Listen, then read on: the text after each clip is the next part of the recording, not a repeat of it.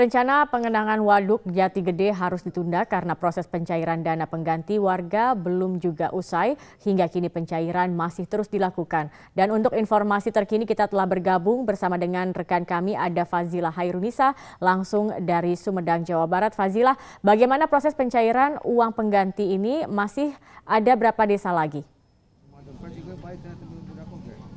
Zaki ya memang proses penggantian uang ganti rugi ini masih terus berlanjut hingga 15 hari mendatang dan uh, masih ada ribuan lagi uh, kepala keluarga di tiga desa yang belum juga mendapatkan ganti rugi dan saat ini saya berada di salah satu desa yang belum mendapatkan ganti rugi itu desa Cipaku di mana masih banyak warga yang belum uh, mendapatkan ganti rugi dan saat ini sudah bersama saya kepala desa Bapak Didin. Pak masih berapa banyak kepala keluarga lagi yang belum mendapatkan ganti rugi? Ya hampir semua di uh, 1238 ini belum pernah uh, dapat ganti rugi. Ada ada sosialisasi nggak pak sih uh, seben, uh, pemberitahuan kapan, kapan akan memberikan ganti rugi sebelumnya?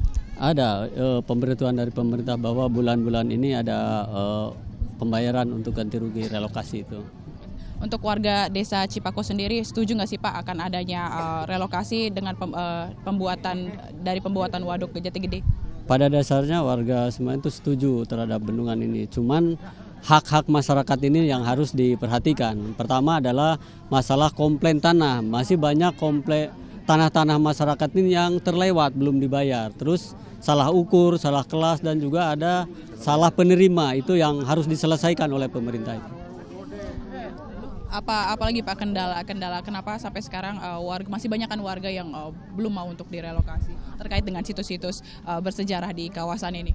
Uh, itu tadi uh, tiga tuntutan dasar dari uh, masyarakat yang pertama tadi komplain atas tanah itu diselesaikan, kedua masalah relokasi. Jadi bukan hanya sekedar uang 122 itu, tapi di samping uang itu masyarakat uh, punya keinginan untuk direlokasikan supaya ke depan masyarakatnya bisa hidup yang lebih baik dari hari ini seperti itu. Terima kasih Bapak atas informasinya. Dan memang jadwal seharusnya bahwa tanggal 1 Agustus ini uh, Waduk Jati Gede akan diresmikan oleh Presiden Jokowi namun dibatalkan karena masih banyak eh, eh, proses-proses uh, uh, lainnya yang masih uh, harus dilakukan termasuk pencairan dana dan juga proses pembebasan lahan.